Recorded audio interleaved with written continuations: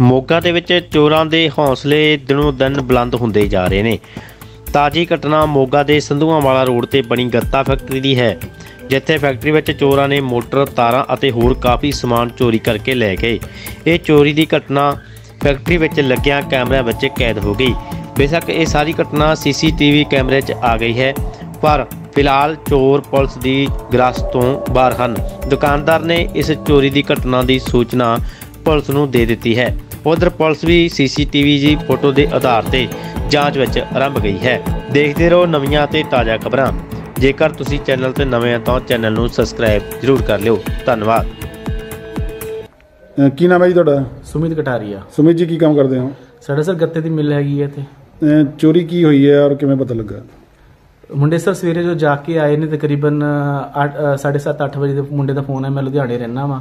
ਲੁਧਿਆਣੇ ਰਹਿਸ਼ ਹੈ ਆਪਣੀ ਇੱਥੇ ਫੋਨ ਆਇਆ ਕਿ ਇਦਾਂ ਦਾ ਆਪਣੀ ਫੈਕਟਰੀ ਚੋਰੀ ਹੈ ਚੌਥੀ ਪੰਜਵੀਂ ਵਾਰੀ ਚੋਰੀ ਹੋ ਗਈ ਆ। ਹਲੇ ਮਹੀਨਾ ਪਹਿਲੇ 18 2 ਨੂੰ ਵੀ ਚੋਰੀ ਹੋਈ ਸੀ ਉਹਦੀ ਸਾਰੀ ਸੀਸੀਟੀ ਵੀਡੀਓ ਐਪਲੀਕੇਸ਼ਨ ਰਿਟਰਨ ਦੇ ਵਿੱਚ ਨਾਲ ਮੈਂ ਸਰਪੰਚ ਸਾਹਿਬ ਨੂੰ ਵੀ ਲੈ ਕੇ ਆਵਾਂ ਤਾਂ ਕਿ ਮੇਰੀ ਸੁਣਵਾਈ ਹੋ ਜਾਵੇ ਉੱਥੇ। ਐਪਲੀਕੇਸ਼ਨ ਲਿਖ ਕੇ ਸਾਈਡ ਤੇ ਰੱਖਦੀ ਐਫ ਆਈ ਆਰ ਲਾਂਚ ਨਹੀਂ ਕੀਤੀ ਹੈਗੀ ਨਾ ਕੋਈ ਸੱਜੇ ਖੱਡੇ ਗਵਾਂਡੀਆਂ ਦੇ ਸੀਸੀਟੀਵੀ ਕੈਮਰੇ ਦੇਖਣ ਆਏ ਨੇ। ਮੈਂ ਗਵਾਂਡੀਆਂ ਤੋਂ ਵੀ ਕੈਮਰੇ ਦੀ ਰਿਕਾਰਡਿੰਗ ਲੈ ਲੈ ਕੇ ਭੇਜਦਾ ਰਿਹਾ ਇਹਨਾਂ ਨੂੰ ਕਿ ਦੇਖੋ ਇੱਧਰ ਨਹੀਂ ਗਿਆ ਚੋਰ ਇੱਧਰ ਨਹੀਂ ਗਿਆ ਚੋਰ। ਕੋਈ ਆ ਕੇ ਬੰਦਾ ਆਪ ਵਿੱਚ ਕਰੀ ਐਫ ਆਈ ਆਰ ਲਾਂਚ ਨਹੀਂ ਕੀਤੀ ਪਿਛਲੀ ਵਾਰ ਵੀ। ਆ ਮਹੀਨੇ ਬਾਅਦ ਫਿਰ ਉਦਾਂ ਹੀ ਹੋ ਗਿਆ ਜੀ ਸੇਮ ਟੂ ਸੇਮ ਰਾਤ ਹੋਈ ਹੈ ਚੋਰੀ ਹੁਣ? ਆ ਰਾਤ ਨੂੰ ਸਵੇਰੇ ਤਕਰੀਬਨ 3 ਵਜੇ ਦੇ ਕਰੀਬ ਹੋਈ ਹੈ। ਅਹ ਕੀ ਕੀ ਲੈ ਗਏ ਨੇ ਇਥੋਂ? ਇੱਥੋਂ ਜੀ ਸਰ ਤਿੰਨ ਮੋਟਰਾਂ ਲੈ ਗਏ ਨੇ ਬੈਰਿੰਗ ਬ੍ਰੈਕਟਾਂ ਕੇਬਲ ਤਾਰਾਂ ਹੈਗੀਆਂ ਨੇ ਪਲੱਸ ਵੈਲਡਿੰਗ ਰਾਡ ਕੇ ਵੈਲਡਿੰਗ ਦੀ ਕੇਬਲਾਂ ਹੈਗੀਆਂ ਨੇ, ਉਹਦਾ ਹੋਲਡਰ ਹੈ ਬ੍ਰੈਕਟਾਂ ਹੈਗੀਆਂ ਨੇ ਬੈਰਿੰਗ ਹੈਗੇ ਨੇ ਸਪਰਿੰਗ ਹੈਗੇ ਆ ਮਸ਼ੀਨ ਦੇਖੋ ਪੂਰੀ ਓਵਰਲ ਸੇ ਖੋਲੀ ਸੀ, ਸਾਰਾ ਪੁਰਜਾ ਸਾਈਡ ਤੇ ਰੱਖਿਆ ਹੋਇਆ ਸੀ, ਸਾਰਾ ਪੁਰਜਾ ਉਹਨਾਂ ਨੇ ਤਾਂ ਲੋਹੇ ਦੇ ਬਕਵਾੜ ਬਾ ਵੇਚ ਦੇਣਾ, ਸਾਡੇ ਵਾਸਤੇ ਇਕੱਠਾ ਕਰ ਕਰ ਲਿਆਣਾ ਹੀ ਬੜਾ ਔਖਾ ਪਲੱਸ ਫੋਰਮੈਨ ਨੂੰ ਬੁਲਾਓ ਸੈਟਿੰਗ ਕਰਾਉਣ ਸੇ 15 ਦਿਨ ਐਵੇਂ ਹੀ ਖਰਾਬ ਹੋ ਜਾਂਦੇ ਨੇ ਲੇਬਰ ਸਾਰੇ 8-10 ਬੰਦੇ ਵਿਹਲੇ ਬੈਠੇ ਨੇ, ਅਗਲੇ 15-20 ਦਿਨ ਕੀ ਕਰਨਗੇ, ਦਿਹਾੜੀ ਤੇ ਮੈਨੂੰ ਪੱਲਿਓ ਦੇਣੀ ਪੈਣੀ ਹੈ ਨਾ ਪਲੱਸ ਜਿਹੜਾ ਸਮਾਨ ਲੱਭ ਕੇ ਲਿਆਓ, ਖਿੱਚ, ਕਿੰਨੇ ਔਖਾ ਕੰਮ ਹੈਗਾ ਸਰ, ਸਾਰੀ ਪਰਾਲੀ ਦੀ ਸੰਭਾਲ ਕਰੀਦੀ ਹੈ ਉਰੇ। ਉਰੇ ਸਾਰੇ ਪਿੰਡਾਂ ਦੀ ਸਾਰੀ ਆਜੂ ਵਾਲੇ ਸਾਰੇ ਦੀ ਪਰਾਲੀ ਇਕੱਠੀ ਕਰੀ 300 350 ਕਿਲੋ ਦੀ ਪਰਾਲੀ ਇਕੱਠੀ ਕਰੀ ਤੇ ਉਹਨਾਂ ਦਾ ਫੂਕ ਦੇੜੀ ਹੈ ਮਿੰਟ ਦੇ ਵਿੱਚ। ਸਾਰੀ ਦੇਖੋ, ਸਾਰ ਕਿੰਨੀ ਪਰਾਲੀ ਢੇਰ ਲੱਗੇ। ਫਟੀਆਂ ਪੁਰਾਣੀਆਂ, ਬੋਰੀਆਂ ਹੋ ਗਈਆਂ। ਜਿਹੜੇ ਕਿਤੇ ਨਹੀਂ ਚਲਦੀਆਂ, ਅੱਗ ਲਾਣੀ ਲੋਕਾਂ ਨੇ। ਬਾਅਦ ਸਾਰੀ ਸੰਭਾਲ ਕਰਕੇ ਗੱਤਾ ਬਣਾਈਦਾ ਹੈਗਾ ਡੱਬੇ ਵਾਸਤੇ। ਮਿਠਾਈ ਡੱਬੇ ਵਾਸਤੇ ਜਾਂ ਹੋਰ ਪੈਕਿੰਗ ਡੀਲ ਡੱਬੇ ਵਾਸਤੇ ਡੱਬਾ ਬਣਾਇਆ ਤਾਂ ਗੱਤਾ ਬਣਾਈਦਾ ਹੈਗਾ ਵਾ। ਇੰਨਾ ਟਫ ਕੰਮ ਹੈਗਾ ਕਰਦੇ ਨੇ ਸਾਰੀ ਪੋਲੂਸ਼ਨ ਤੋਂ ਪੰਜਾਬ ਨੂੰ ਕਿੰਨਾ ਬਚਾਉਂਦੇ ਆ। ਉਹ ਸਾਡਾ ਵੀ ਤਾਂ ਕੇਅਰ ਕਰਨ ਵਾਲਾ ਹੋਵੇ ਨਾ, ਇੰਨੇ ਦੁਖੀ ਹੋ ਗਏ ਪੜੇ ਲਿਖੇ ਅਸੀਂ ਇੰਡਸਟਰੀ ਲਗਾਣੀ ਇੰਡਸਟਰੀ ਬੰਦਾ ਕੀ ਲਗਾਊਗਾ? ਕਿੰਨਾ ਨੁਕਸਾਨ ਕਿੰਨਾ ਕੁ ਹੋਇਆ?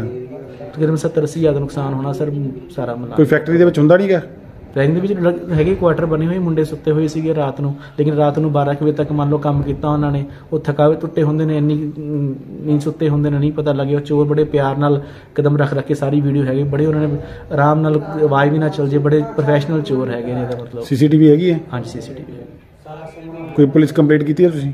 ਹਾਂਜੀ, ਮੈਂ ਸਵੇਰੇ ਐਸਐਚ ਸਾਹਿਬ ਨੂੰ ਫੋਨ ਕਰਤਾ ਸੀ, ਉਹਨਾਂ ਨੇ ਇੱਕ ਬੰਦਾ ਭੇਜਿਆ ਸੀਗਾ। ਉਹ ਫੈਕਟਰੀ ਦਾ ਨਾਮ ਵਗੈਰਾ ਪਤਾ ਲਿਖ ਕੇ ਚਲਾ ਗਿਆ ਮੈਂ ਉਸ ਤੋਂ ਬਾਅਦ ਕੋਈ ਕਾਰਵਾਈ ਨਹੀਂ ਪਿਛਲੇ ਸਾਰੀ ਵੀ ਸੇਮ ਹੀ ਹੋਇਆ ਸੀਗਾ, ਉਦੋਂ ਕਿਹੜਾ ਕੋਈ ਅਫੇਅਰ ਲਾਂਚ ਹੋਇਆ ਕੁਝ ਹੋਇਆ ਹੀ ਨਹੀਂਗਾ ਪਿਛਲੇ ਸਾਲ, ਪਿਛਲੇ ਮਹੀਨੇ ਵੀ ਤਾਂ ਸੇਮ ਚੋਰੀ ਹੋਈ ਹੈ। ਬਿਲਵਨ ਵੀ ਸਾਡਾ 70000 ਦਾ ਨੁਕਸਾਨ ਹੋਇਆ ਵਿਆਹ ਕੀ ਮਹੀਨੇ ਫਿਰ ਸਾਡੇ ਤੇ ਨੁਕਸਾਨ ਆ। ਆਪਣੀ ਤਾਂ ਇੱਕ ਟੁੱਟ ਗਈ ਹੈਗੀ ਆਪਾਂ ਤਾਂ ਉਹਨਾਂ ਦੀ ਇੰਡਸਟਰੀ ਨਹੀਂ ਚਲਾਣੀ ਜਿਸ ਹਿਸਾਬ ਨਾਲ ਲੱਗਦਾ। ਆਪਾਂ ਤਾਂ ਬਹੁਤ ਦੁਖੀ ਆ। ਕਿਉਂਕਿ ਇੰਨਾ ਕੰਪਾਈਲ ਕਰਕੇ ਸਮਾਨ ਇਕੱਠਾ ਕਰੋ, ਫਿਰ ਚੋਰੀਆਂ ਕਰਨ ਥੋੜੀ ਬੈਠੇ ਹੈਗੇ ਹਾਂ ਇੱਥੇ ਅਸੀਂ।